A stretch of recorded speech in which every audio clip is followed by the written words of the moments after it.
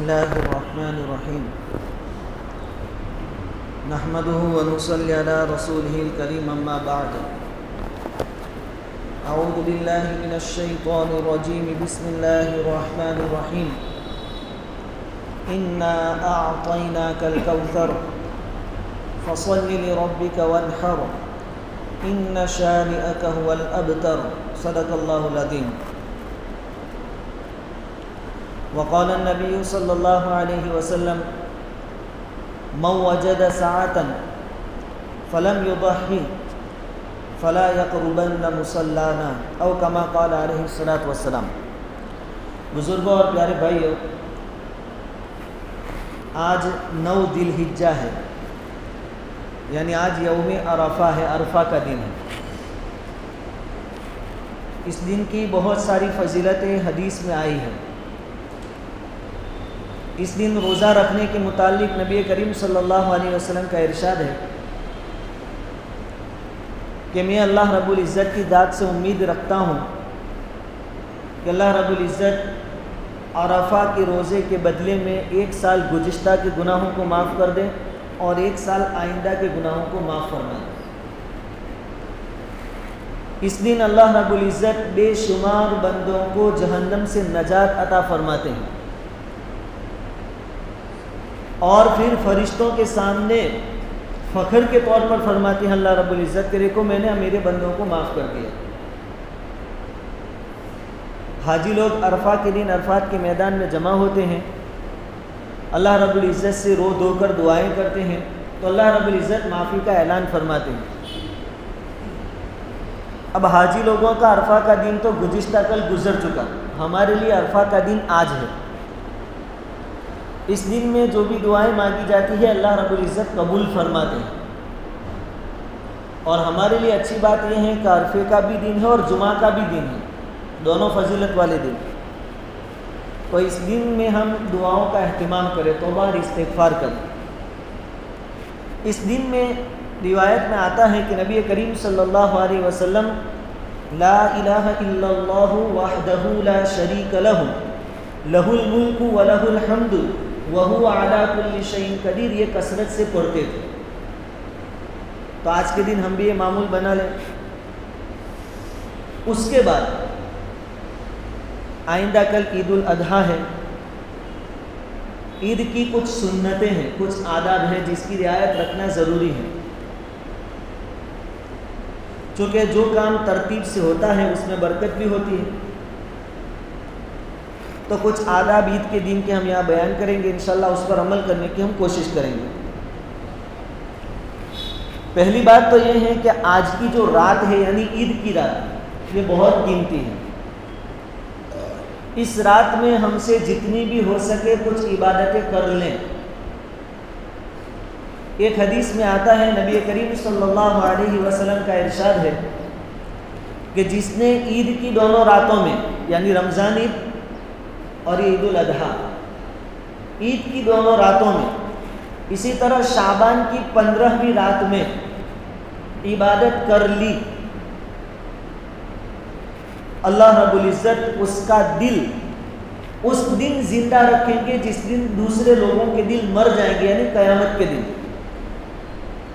कयामत के दिन अफरा तफरी के माहौल में लोगों को कुछ समझ में बात नहीं आती होगी। उस दिन ऐसे लोग जिन्होंने पंद्रह शाबान को और ईद की दोनों रातों में इबादत की होगी, वो मुतमिन होंगे, चैन और सुकून के साथ होंगे। घबराहट के दिन में उनको इतमान नसीब होगा, उनके दिल ज़िंदा होंगे।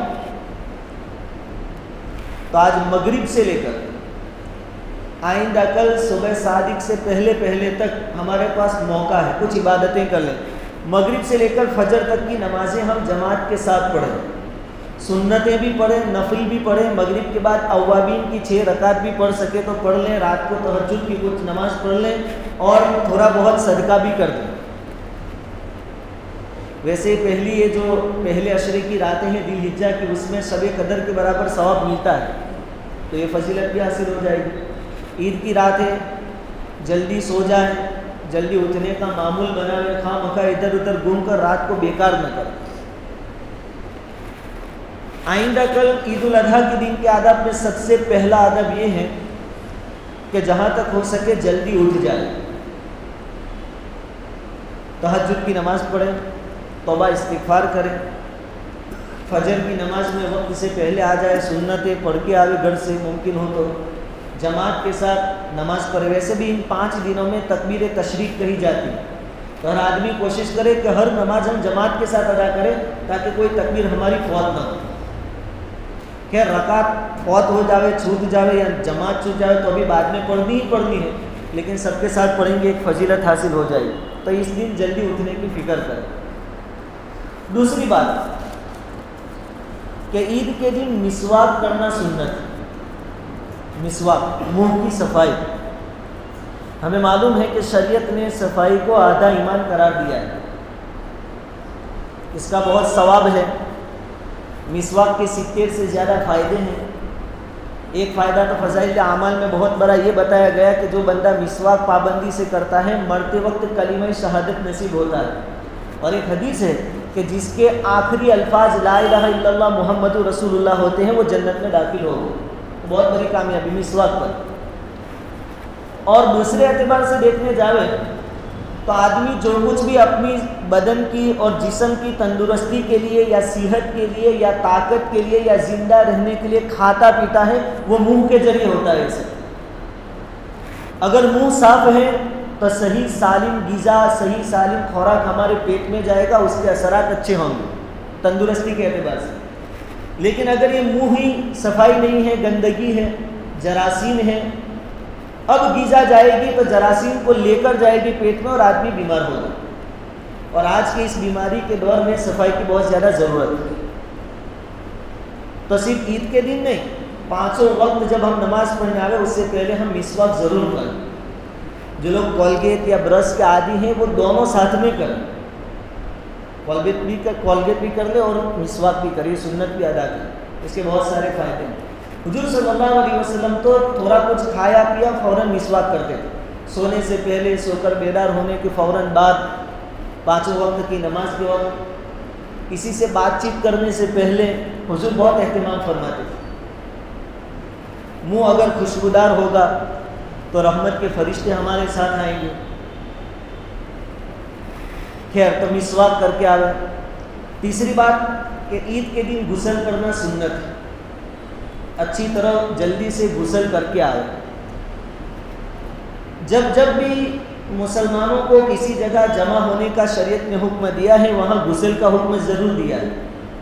जुमा के दिन पूरी आबादी एक मस्जिद में जमा होती है, शरीयत ने कहा, गुसल करना सुन्नत ईद के दिन पूरी बस्ती वाले जमा होंगे, शरीयत कहती है कि गुसल करना सुन्नत क्योंकि अगर गुसल नहीं किया, पसीने की बदबू आ रही है और ऐसा ही मस्जिद में चला गया तो एक तो उसकी वजह से फरिश्ते भाग जाएँगे।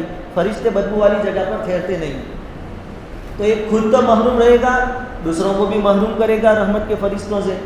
दूसरी बात, कि आसपास में जो नमाज़ पढ़ने वाले हैं, उनको तकलीफ़ होगी, नमाज़ में ध्यान नहीं लगेगा, उसका गुना भी इसको होगा। इसलिए, वैसे तो जमात के साथ नमाज़ पढ़ने की बहुत ताकीद है हुजूर फरमाते हैं कि मेरा जी चाहता है कि किसी और को नमाज़ का, नमाज़ पढ़ाने का इमाम बना दूँ और मैं नौजवानों से कहूँ कि लकड़ियाँ जमा करो और जो लोग बगैर किसी उज्र के जमात के साथ नमाज़ नहीं पढ़ते मस्जिद आकर उनके घरों में आग लगा दो। इतनी ताकीद है जमात के साथ नमाज़ पढ़ने की। लेकिन जिसके जिस्म से बदबू आती है पसीने की, उसको मसले के अतबार से इजाज़त है कि तू मस्जिद में ना आवे, घर पे नमाज़ पढ़ ले। दूसरों का इतना ख्याल रखा गया है शरीयत में। तो ईद के दिन सुन्नत करना गुसल करना सुन्नत है। इसी तरह जुमा के दिन गुसल करके आना सुन्नत है। और सफ़ाई तो शरीयत की एतबार से आधा ईमान उसका अहतमाम कर। ईद उल अजहा के मौके पर हो सके तो कुछ खाए पिए बगैर आए।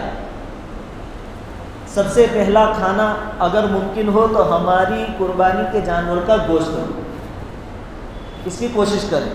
हजूर सल्लल्लाहु अलैहि वसल्लम की आदत मुबारक यही थी कि आप ईद उल अजहा के दिन सबसे पहले कुर्बानी के जानवर का गोश्त नौश फरमाते थे। हाँ शुगर प्रेशर का मसला है, भूख का ज़्यादा तकाजा है, नहीं खाएँगे, चाय नाश्ता नहीं करेंगे तो नमाज़ में जी नहीं लगेगा, ऐसे मसले हैं तो फिर इजाज़त कि कुछ नाश्ता वगैरह करके आए। घर से आते वक्त रमज़ान ईद में तो आहिस्ता तकबीर कहनी थी और ये ईद जो है ईद अजहा उसमें ज़ोर से तकबीर पढ़ते पढ़ते आना है। अल्लाह अकबर अल्लाह अकबर अकबर, अल्लाह अकबर हम्द ये तकबीरात ज़ोर ज़ोर से पढ़ते पढ़ते आना है। एक रास्ते से आना है, दूसरे रास्ते से घर जाना है। जहाँ तक मुमकिन हो, पैदल चल के आना है। हजूर सल्लल्लाहु अलैहि वसल्लम का मामूल यही था कि आप ईद के लिए पैदल चल के तशरीफ़ ले जाते थे। ईद की नमाज़ रमज़ान ईद के मुकाबले में, यानी ईद के मुकाबले में जल्दी अदा की जाती है, यही सुन्नत क्योंकि कुर्बानी भी करनी है। इसलिए इस नमाज़ का वक्त भी बहुत जल्दी रखा जाता है। इसी तरह, ईद की नमाज़ से पहले कोई नफली नमाज़ नहीं पढ़नी है। घरों में भी नहीं पढ़नी है, मस्जिद में भी नहीं और ईदगाह में भी नहीं। जब तक के ईद की नमाज़ न हो जावे, वहाँ तक कोई नफल नमाज़ इस दिन हमें नहीं पढ़नी है। ईद की नमाज़ हो जाने के बाद घर जाकर दो रकात या चार रकात हम नफल नमाज़ पढ़ सकते हैं। चार रकात पढ़ने को उलमा ने बेहतर करार दिया है। तो हो सके तो यहाँ से जाने के बाद चार रकात नमाज़ पढ़ें। जिस रास्ते से आए हैं, उस रास्ते से वापस ना जाए, बल्कि दूसरे रास्ते से वापस जाए।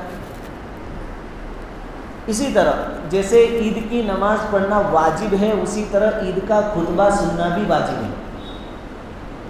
तो खुतबा सुने बगैर कोई यहाँ से ना जाए। मुख्तसर से खुतबे दिए जाते हैं। तो ये वाजिब भी पूरा पूरा अदा करने के बाद जाएँ। तो ये चंद सुन्नतें हैं, उस पर अमल करने की कोशिश करें। आज का जो आधा दिन बचा है, उसमें तोबा इस्तफार करें, ये अरफे का दिन है, इसमें अल्लाह ताला बेशुमार बंदों को जहन्नम से नजात देते हैं। इस दिन में, यानी अरफा के दिन में, नबी करीम सल्लल्लाहु अलैहि वसल्लम, ला इलाहा इल्लल्लाहु वहदहु ला शरीक लहु, लहुल मुल्कु व लहुल हम्दु व हुवा अला कुल्ली शैइन कदीर कसरत से पढ़ते थे तो हम भी मगरिब तक पढ़े। आज की जो रात है आने वाली बहुत कीमती है, मगरिब से रात शुरू हो जाती है, गुरब सूरज गुरुब होने से लेकर शुरू हो जाते हैं। तो मगरिब की, ईशा की और फजर की नमाज़ जमात के साथ, सुन्नत और नवाफिल की पाबंदी के साथ पढ़ने वाले बने। कुछ सदकात करें, थोड़ा बहुत कुरान शरीफ पढ़ लें तो बाद इस्तफार करें तहजुद की नीयत से सो जाए तहजुद पढ़ें। सुबह में जल्दी उठ जाए, फजर की नमाज़ जमात के साथ अदा करें, घर जाकर गुसल कर लें, मिसवाक का अहतमाम करें पैदल चलकर आवे, एक रास्ते से आए दूसरे रास्ते से घर जाए तकबीर ज़ोर ज़ोर से पढ़ते हुए आए, खुशबू वगैरह लगा कर आए, ये कुछ आदाब है ईद के, अल्लाह रब्बुल इज़्ज़त इस पर अमल की तोफ़ी अदा फरमाए। और एक ऐलान है कि मस्जिद में जब भी आप तशरीफ़ ले आवें, चेहरे पर मास्क ज़रूर बाँध कर आए। रहते रहते ये बीमारी हमारी बस्ती में भी काफ़ी फैल चुकी है। अब इसमें गफलत ज़्यादा नुकसान का सबब बन सकती है, इसलिए मास्क बाँध कर आ आते जाते और ये कायदा सिर्फ़ मस्जिद के लिए नहीं है, बल्कि मस्जिद के बाहर भी जब आपस में मुलाकात हो, खास करके छींक खाते वक्त या खांसते वक्त चेहरे को ज़रूर ढांकें। ये तो हुजूर की सुन्नत भी है। दूसरी बात कि इस बीमारी की लाइन से हमारे अड़ोस पड़ोस में और मोहल्लों में बहुत सारे लोग बीमार हैं, लेकिन घरों में हैं। दवाखानों में नहीं जाते, उसके दो सबब हैं। या तो इस वजह से नहीं जाते कि उनके पास पैसे नहीं है इलाज के, या इस वजह से नहीं जाते कि इनको डर लगता है। पैसे नहीं है तो पड़ोसियों का और मोहल्लों वालों का हक है कि उसके इलाज का इंतज़ाम करें, खास करके रिश्तेदारों का। माली मदद करें। सरकार की वैल्यू और सवाब इन दिनों में बहुत बढ़ जाता है। तो कोई ऐसा आदमी है कि पैसों की वजह से नहीं जाता? तो उसको कुछ पैसों का इंतज़ाम कर दो और अस्पताल रवाना करें। दवाखाने भेजें इनको। और अगर डर की वजह से नहीं जाते तो उनको समझाओ। ये बीमारी ऐसी है कि अगर शुरुआत में इसका इलाज कर लिया गया तो उस पर कंट्रोल हो जाता है। लेकिन जब एक स्टेज से आगे बढ़ जाती है, आदमी गफलत में रहता है तो फिर कंट्रोल मुश्किल हो जाता है। तो हमारे अड़ोस पड़ोस में मोहल्लों में कोई बीमार बीमार से, बीमार आदमी से हमें हमदर्दी है। हमदर्दी रखनी है। शरीयत का हुक्म है कि बीमार आदमी से हम नफरत नहीं करेंगे, मोहब्बत से पेश आएँगे। एहतियात अपनी जगह पर। उनका भी हमारे नज़दीक काम है, वो भी काबिल एहतराम है। एक मुसलमान होने की हैसियत से उसकी भी अल्लाह रब्बुल इज़्ज़त की नज़र में बहुत वैल्यू है, अहमियत है। हम बीमार आदमी से नफरत नहीं करें लेकिन इनको समझावें उनका जो भी प्रॉब्लम हो, उसको दूर करने की कोशिश करें और सफ़ाई सुथराई का ख्याल रखें। हाथ, मुँह वगैरह बार बार धोते रहें। मस्जिद आते जाते वक्त चेहरे पर मास्क ज़रूर बांधें। अल्लाह रबुल्ज़त कहीं सुनी बातों पर अमल को तौफीक